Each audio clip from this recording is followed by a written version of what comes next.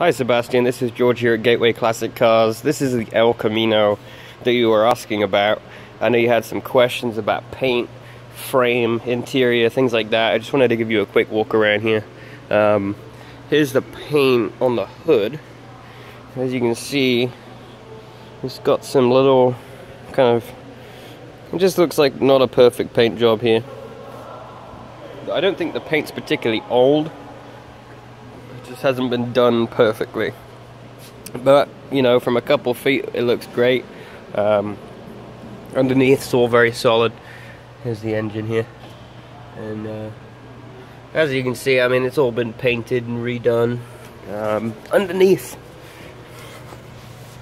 you know, it's just minimal surface rust, rust here and there on parts that are unfinished.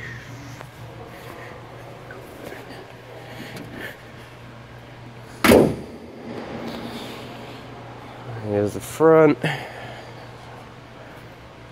give you a shot of the interior here. And there it is. It's all in good shape.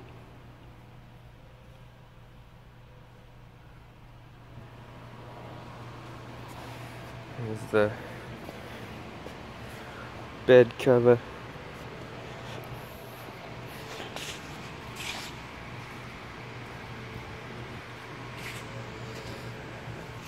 Go underneath here at the back. You can see it's all pretty clean under there. Uh, drives really great, shifts great, starts right up. It's a nice truck. Anyway, uh, I'll send you some more pictures too, along with an email, so you have my contact information. But uh, thanks for inquiring.